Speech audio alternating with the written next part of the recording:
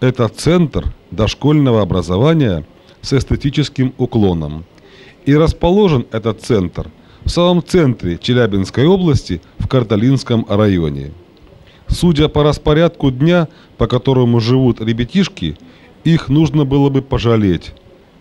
Но настолько наши маленькие сограждане были увлечены делом, так довольны своими космическими перегрузками, что, ей-богу, мы им просто позавидовали. И мы зашли с видеокамерой поочередно. Сначала в за студию, затем в комнату природы, а потом в тренажерный зал. И убедились в том, что эти дети в полном порядке. Такое впечатление, будто вот эти вот папы и мамы этих ребятишек, они вот начальники все. Нет, в основном рабочие.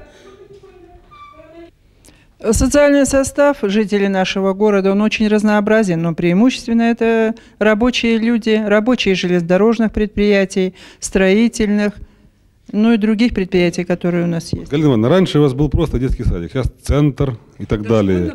К чему это обязывает? А? К чему это обязывает? Это обязывает к многому. У нас такая цель, что именно развивать творчески ребенка, и подходить всесторонне к развитию ребенка. Такая цель всегда стала перед советским обществом, правильно? Ну, такая цель всегда стояла. Мы конкретно занимаемся сейчас вот именно такой целью. Поэтому у нас именно центр с эстетическим уклоном. Что мы для этого сделали? Для этого мы оборудовали изо-студию, комнату природы. Дальше много занимаемся музыкой, экологическим воспитанием.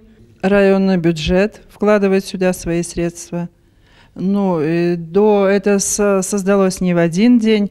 Э, Галина Ивановна работает здесь уже 8 лет, и вот в течение 8 лет она очень настойчиво, требовательно, э, сознанием своего дела создала вот этот детский Уже на пленэре мы все же расспросили ребятишек, кто их папы и мамы.